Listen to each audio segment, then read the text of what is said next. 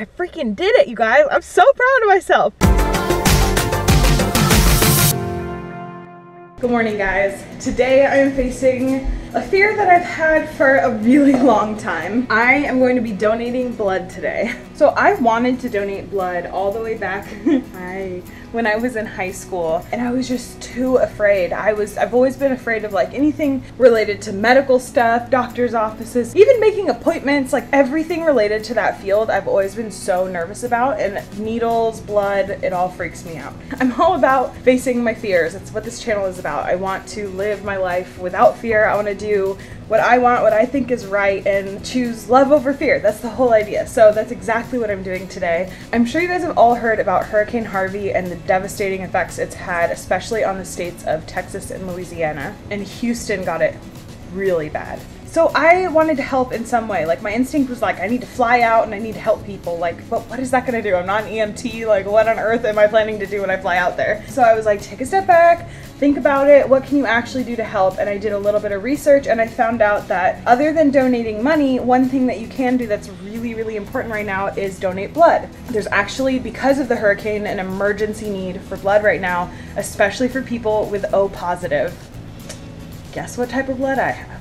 I felt like the universe was screaming at me. I felt like I have to do this. Time to face my fear. It's time to do it. It's not a big deal. People donate blood all the time. And throughout my life, I'm gonna need to get my blood drawn just for different things. And that's just something I'm gonna have to learn to deal with. And, you know, there's an emergency need right now for O positive. I have O positive. I can't really donate money, but I can donate blood. It's something that money can't buy. It's something that I have in my veins that I can give and money can't buy it. So I guess unless you hire a hitman. so I feel really good about it. Um, I've actually been surprisingly calm today, but I'm actually going through the steps right now of preparing to give blood. So I'm drinking a crazy amount of water. I just ate a really big spinach salad because spinach is really high in iron and that's what I'm gonna be missing as soon as they pull the blood out of my veins. Completely unrelated to giving blood, I'm actually making cookies right now. they look really good. We're having people over tomorrow and my birthday is coming up and I just felt like making cookies. Anyways, after my spinach salad and drinking like a crap load of water right now, um, I am actually going to have this, which is a bibimbap bowl. It's a Korean style dish and it has beef in it. Beef is really high in iron. It's also got some other stuff in here that's high in iron as well. I also ate like an entire bag of spinach yesterday and I was really hydrated yesterday. So I'm working on getting my iron levels up and getting hydrated right now. My appointment is in under two hours from now. Originally what I was going to do was walk to my local BART station, take the BART, which is the subway here, walk to the blood donation center, and then after I got my blood drawn, I was just gonna like hang out for a little while until I feel felt like totally better, walk back to BART, take BART back here, take a Lyft home. But I got really lucky today. I'm extremely grateful. The woman whose dogs I walk pretty much every single morning lent me her car for the day. I'm so grateful I have her car. I'm especially grateful because today it's supposed to get up to 102 degrees Fahrenheit. That is 38.8 degrees Celsius. It is going to be very hot today. So I was planning on walking in that after giving blood for like a mile and a half. I'm like, maybe not the best idea, but it was the best I got. So I was just planning on like going slow and hanging out for a while and making know, monitoring myself closely. But now that I have the car, I feel like a lot more relieved. Um, I'm actually feeling surprisingly calm for this being such a huge fear of mine. But I'll keep you updated because I think as soon as I get in the car and head there, I'm gonna get those butterflies where I'm just like, oh my god, I can't, why am I doing this? I'm more excited than nervous, I guess, because it's a way I can help and I know it's gonna make me feel really, really good. Um, and actually, Eric, my husband, just signed up for a last minute blood drive that's happening like in a parking lot near the office he works in. And so he just signed up to donate blood today too. So we're both donating blood, so I feel really, really good about that. So I'm gonna heat up my lunch and then I will bring you along for the day and show you as much as I can show you. We can do this. It, this is for Harvey victims. I, I don't even care if the blood goes to someone who's a Harvey victim. I just, I'm donating because of them. That's what's getting me through it. Okay. I'm definitely nervous. I feel like I'm gonna take like 10 nervous poops right now, all at once. Um, anyway, that's a little TMI. Uh, I'm bringing headphones. I'm also bringing a book. I think I'm also gonna bring my passport just in case because my driver's license is actually gonna expire in a week. I don't know if that affects anything, so in case it does, I'll bring secondary form of ID, my passport. They also might want to see my travel stamps in here because I did go to Cambodia, but it's been 12 months, so It's all good, but they might ask for it. I'm not sure. So let's bring that. And let's go. You stay cool, buddy, okay? It's real hot out there. It's apparently 100 degrees out right now. Ooh, this car's hot. I just got out of the shower and I'm about to sweat. It's going to happen. Come on, AC. Come on. Come on. Although I gotta say, I'm very grateful that this car does not have leather seats and it does not have black interior. Just counting my blessings. Anyways, I need to stop talking and actually go or else I'm gonna be late. I'm here. my heart's beating super fast. I know they're gonna measure my blood pressure high, but I need to stop thinking about it. But yeah, now I'm super nervous. I feel like I'm gonna pee my pants. Let's do it.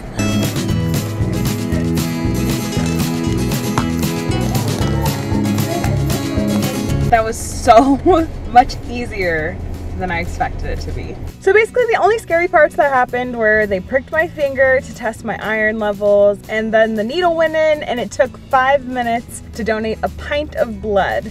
And then when it came back out, it actually didn't hurt at all. So I think personally the most painful part was when the needle went in. Apparently a lot of people think the finger prick is more painful, but I didn't find that at all. I think the most anxiety inducing part was just right before they put the needle in up until like probably just a couple minutes into the blood drawing process. I was just very anxious. I could have let my anxiety completely take over. I know I could have, and I didn't. I chose not to. I don't always have that choice. That's the thing. So I understand that like sometimes you, you you're just anxious and you can't help it. But um, in the moment, I was like, I could freak out right now, but I'm not. I feel like I have control. So I took control. I freaking did it, you guys. I'm so proud of myself. I faced my fear. This has been a fear of mine for so long, um, and I faced it and I did it and I got my badge of honor. Um, I even got a free Red Cross t-shirt. One thing I did want to bring up, so I was looking stuff up about Hurricane Harvey online and I kept seeing all this negative media about the Red Cross. And it was while I was literally sitting there eating snacks in the Red Cross like waiting center after I got my blood drawn. And it made me feel so discouraged. It made my heart like just drop. It like made me feel like maybe I wasn't validated in what I did. But then I really thought about it. I'm like, people need blood right now. I have a blood type that's very common and that can be used on a lot of people.